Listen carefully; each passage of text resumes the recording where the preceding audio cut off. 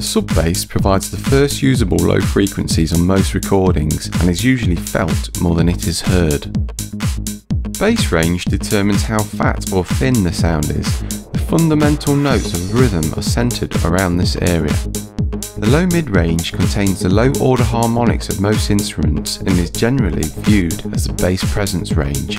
The mid-range determines how prominent an instrument is in the mix. The ear is particularly sensitive to how human voice sounds in this range. Human hearing is extremely sensitive at the high mid-range frequencies, with the slightest change resulting in a huge change in the sound timbre. Presence range is responsible for clarity and definition of a sound, and is often the area at which most home stereos centre their treble control on. The brilliance range is composed entirely of harmonics and is responsible for sparkle and air of a sound in the mix.